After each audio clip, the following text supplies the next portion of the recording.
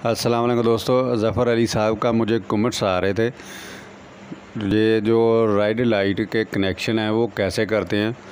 मुझे डिटेल के साथ समझा दें। मैं कमेंट्स में नहीं समझा सकता था, इसलिए मैंने ज़फ़र अली साहब के लिए वीडियो बना दी है और उनकी वजह से ही कोई और लोग भी फ़ायदा उठा सकते हैं।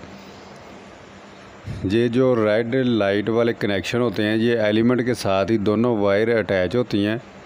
जो एलिमेंट का माइनस और प्लस होता है, ये दोनों वायर उसके साथ अटैच हो जाएँगी। ये जो मेन लीड लगी हुई है, ऊपर टेप लगी हुई है वायर की, ये मेन वायर 220 वोल्ट की जो वायर अंदर इंटर होती हैं हीटर के, वो वायर सीधी एलिमेंट के अंदर एक जाएगी, जो करंट वाली होगी। और एक वायर जो है, वो प्लेट के अंदर सीधी चली जाती है। और मिसाल के तौर पर माइनस जो है वो आप प्लेट के अंदर इंटर कर देते हैं और दूसरी जो है प्लस वाली जो वो एलिमेंट के अंदर इंटर हो जाएगी और एलिमेंट से होकर ही वो प्लेट की दूसरी साइड से इंटर होगी। माइनस और प्लस आपने देखा होगा, ये जो जाली हीटर की होती है, उसकी दोनों तरफ़ वायर होती हैं।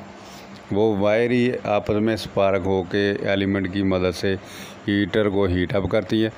और जो ग्रीन का जो कनेक्शन होता है, वो ग्रीन का भी आपने जो एक सिंपली सीधी 220 वोल्ट की वायर प्लेट के अंदर इंटर की होगी, एक एक उसके साथ अटैच हो जाएगी और एक ग्रीन जो बच जाएगी, वो एलिमेंट के साथ अटैच हो जाएगी।